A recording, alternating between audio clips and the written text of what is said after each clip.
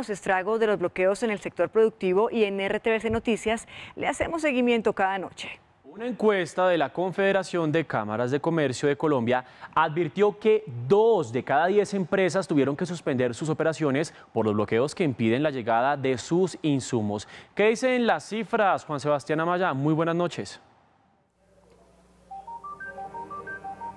Mateo, Patricia Televidentes, muy buenas noches. Pues esta encuesta fue realizada a 12.979 empresas de todo el país, de las cuales 2.881 respondió que tuvo que cerrar o suspender su operación por los bloqueos, es decir, un 22,2% del total o dos de cada 10 empresas frenaron su operación. Otro de los datos importantes es que 5 de cada 10 empresas operaron entre una capacidad del 1 o 50%, es decir, a la mitad o a menos de esta capacidad. Y el tercer punto es que el 90% de todas las empresas consultadas señalaron que tienen en peligro hasta cinco puestos de trabajo de los que ofrecen.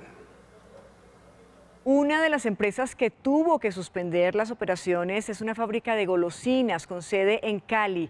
Uno de sus productos ha sido tradicional para varias generaciones en Colombia, las populares frunas. Buenas tardes, vecino, por favor, ¿hay frunas? No, mi vecino hay. ¿Se acabaron? Sí, señor. No, no hay, se acabaron. Están escasas. No, están escasas. No me han traído. No, en este momento están escasas. Los muchachos que las surten no han pasado.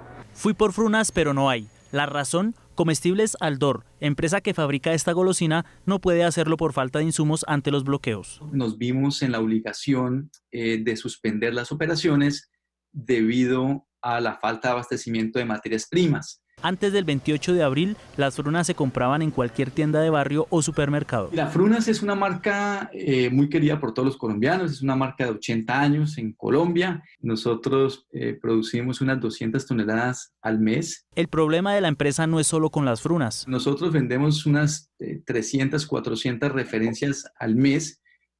muchas de esas son para exportación. Altor exporta desde su planta del Valle a, más de 40 países. El llamado es uno solo. Que se abran las vías para poder recibir los insumos que necesitamos para reiniciar la operación. Como Aldor, cerca de 3.000 empresas no pueden producir por falta de insumos.